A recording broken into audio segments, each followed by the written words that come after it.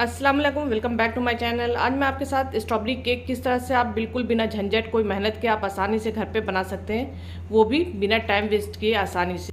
एक ही बार में आपका केक ज़बरदस्त सा तैयार हो जाएगा। आइए, सबसे आसान तरीके से किस तरह से केक बना सकते हैं, उसकी रेसिपी देख लेते हैं।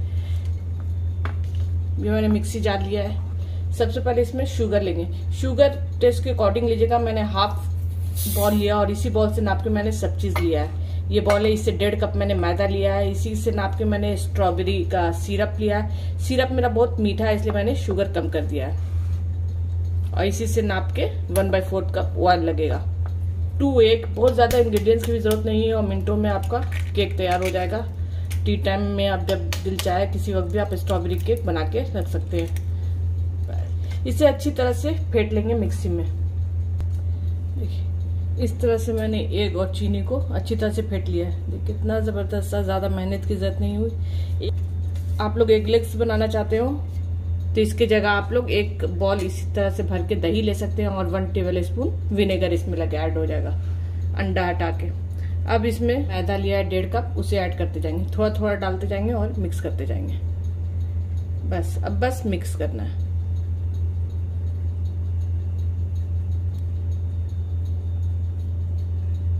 इसे अच्छी तरह से मिक्स करेंगे। सब चीज़ रूम टेम्परेचर के हिसाब से लेंगे। बहुत आसान रेसिपी है और बहुत जल्दी बन जाता है। कोई झंझट नहीं। इसे अच्छी तरह से मिक्स कर लेंगे। ये गाढ़ा हो गया है।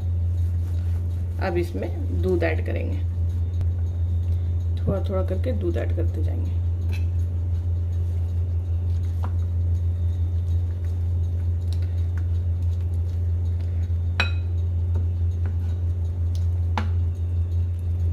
बस इस तरह से अच्छी तरह से मिक्स करना है। फोल्ड एंड कट एक ही साइड से घुमाना है और इसे पीस से कट करते जाएँगे। इस तरह। दूध उसे भी ऐड कर देंगे। इस तरह से बना के देखिए स्ट्रॉबेरी केक बहुत ज़बरदस्त लगेगा, बहुत मज़ेदार सा तैयार होगा आपका भी। और बिल्कुल सॉफ्ट और स्पॉन्जी रहेगा। अब इसमें वन टीस्पून भर के baking powder one by four teaspoon baking soda मीठे को बैलेंस करने के लिए वन पिंच नमक और इन सबको अच्छी तरह से मिक्स कर लेंगे।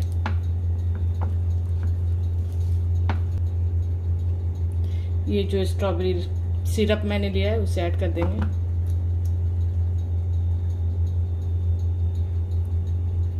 और इसे भी अच्छी तरह से मिक्स कर लेंगे।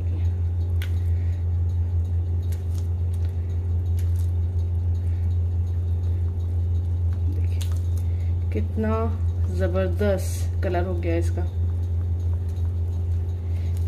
शुगर सिरप के हिसाब से ऐड कीजिएगा।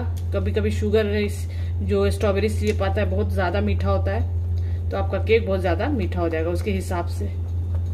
इसे अच्छी तरह से मिक्स कर लेंगे। हाफ़ कप जो ऑयल लेके रखा है, उसे मिक्स कर देंगे। और ये मैं वेनिला एसेंस ऐड कर रही हूँ। अगर आपके पास स्ट्रॉबेरी एसेंस हो तो आप उसे ऐड कीजिएगा। उससे टेस्ट और ज़बरदस्त आ जाएगा। मेरे पास ख़त्म हो गया था, इसलिए मैं वनीला एसेंस ऐड कर रही हूँ इसमें। ऐसे अच्छी तरह से मिक्स कर लेंगे। बस, तेल लास्ट में इसलिए मिक्स कर रहे हैं, इससे बहुत ज़बरदस्त और सॉफ्ट आपका केक तैयार होगा। ऑयल आप चाहते तो पहले भी ऐड कर सकते हैं, लेकिन बाद में ऐड करने से केक बहुत नरम, मुलायम सा सॉफ्ट सा तैयार होता है। इसे अच्छी तरह से मिक्स करते जाएँगे। जब तक कि ऑयल अच्छी तरह से मिक्स ना हो जाए। मैंने पतीले को गर्म करने के लिए चढ़ा दिया प्री हीट के लिए। अगर आपको माइक्रोवेव में बनाना है तो आप माइक्रोवेव को भी 10 से 15 मिनट के लिए प्री हीट कर लेंगे, उसके बाद इसे बनाएँगे। इसे अच्छी तरह से मिक्स कर लेते हैं। ये अच्छी तरह से ऑयल अच्छी तरह से मिक्स हो गया है। इस तरह का इसका टेक्सचर रहना चाहिए। बहुत ज़्यादा पतला नहीं, बहुत ज़्यादा गाढ़ा नहीं। मैंने बेकिंग ट्रे लिया है, इसमें ऑयल ग्रीस किया था, उसके ऊपर मैदा के डस्टिंग कर लिए कि अच्छी तरह से, या आप बटर पेपर भी रख सकते हैं। इसमें इस तरह से डालते जाएँगे।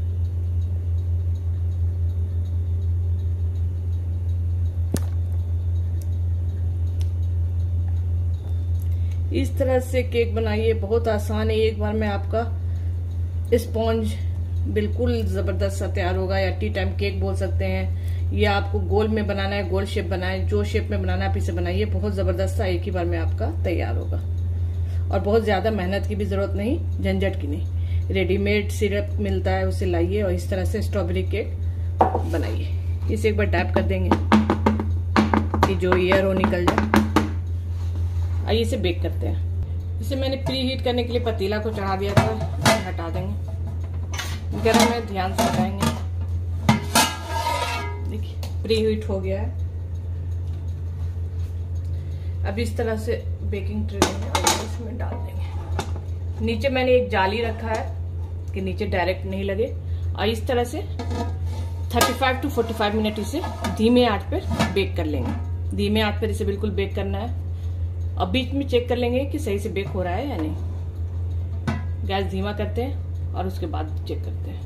आइए इसे चेक कर लेते हैं।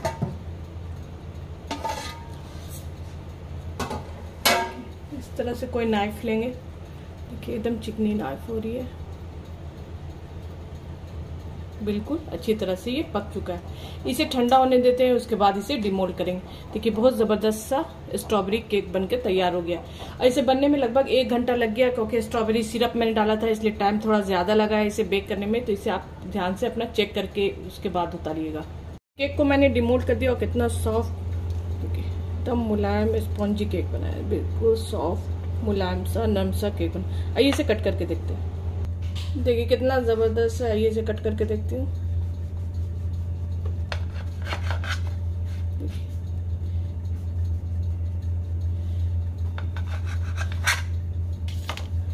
ये कितना जालीदार सॉफ्ट केक बिल्कुल तैयार हुआ है। कितना सॉफ्ट केक है।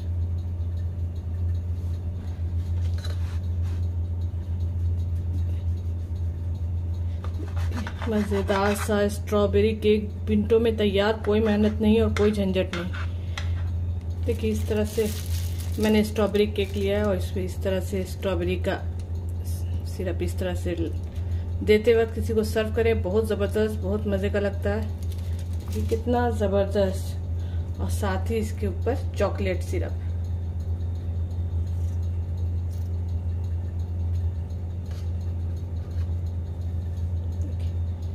कितना ज़बरदस्त, मज़ेदार सा केक बन के बिल्कुल रेडी है।